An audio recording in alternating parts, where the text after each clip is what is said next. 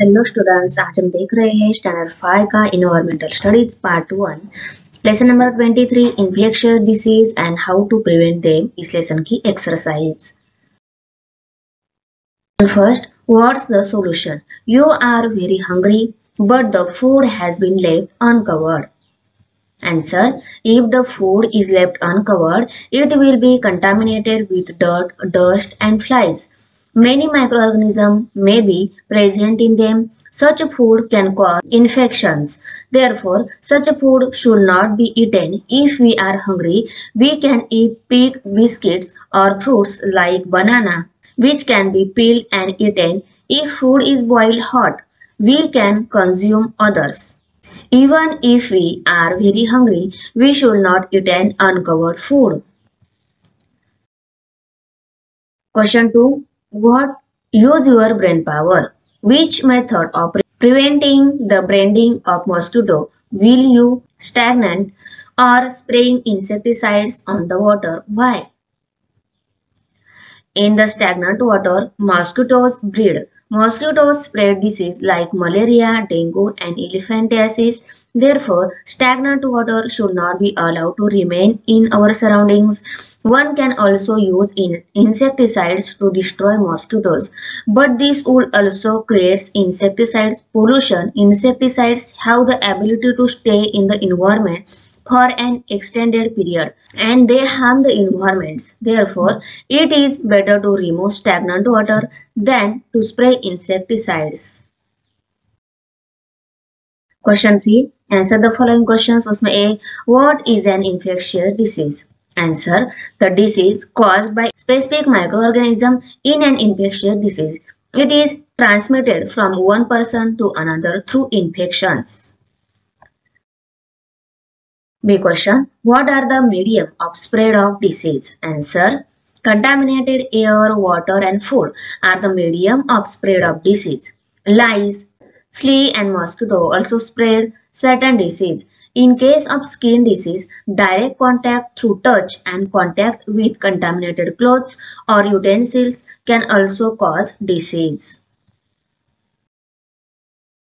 Question C. What happens when there is an epidemic of disease? Answer. When the epidemic of disease is spread, many people from a particular area become ill with the same disease at the same time. D question. What is vaccination? Answer. Vaccination is the process in which the vaccine is given to the person or child through injection or an oral, oral dose. Thus, vaccine builds resistance against a certain disease. When the disease-causing germs enter our body, we already have the ability to fight against germ, these germs. So, we would not get that disease due to vaccination. The outbreak of an epidemic can be controlled and disease prevention can be done. Children are given vaccination for many diseases are their resistance power is weak. Community programs for vaccination are also done to control epidemics. Question E. Make a list of the vaccinations that are given to the newborn baby. Answer. BCG और anti tuberculosis vaccine triple vaccine given against whooping cough diarrhoea and tetanus polio and polio oral vaccine is given to build resistance against polio question four true और false उसमें a intestinal disease spread through air false Some diseases are caused by the injury of the birds. Answer false. Question 5. Classify the disease given below as disease that spread through food, through water and through air.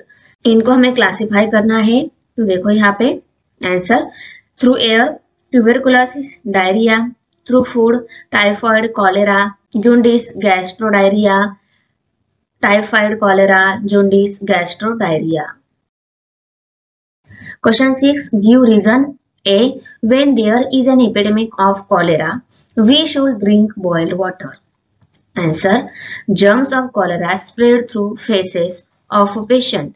They pass into water or food. If such a contaminated water is used for drinking, other may get the, the infection of cholera. Therefore, during an epidemic of cholera, water should be boiled. Boiling destroys the germs in the water and therefore we are protects, protects against the germs. In order to keep our health safe, we should drink boiled water.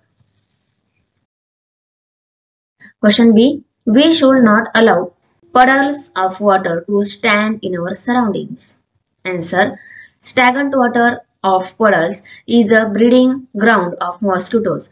Germs causing malaria are transmitted through mosquitoes bite from a patient to the other people, epidemic of such a disease will spread if mosquitoes are abundant. Therefore, to control infection of malaria and dengue, we should eradicate mosquito. Hence, we should not allow puddles of water to stand in our surroundings. Thanks for watching video इयत्ता पाचवीच्या Marathi, semi आणि इंग्रजी या माध्यमांच्या सर्व विषयांच्या स्वाध्यायाच्या नवनवीन व्हिडिओसाठी चॅनलला सबस्क्राईब नक्की करा, लाईक करा, कमेंट करा आणि वर्गमित्रांना शेअर करा.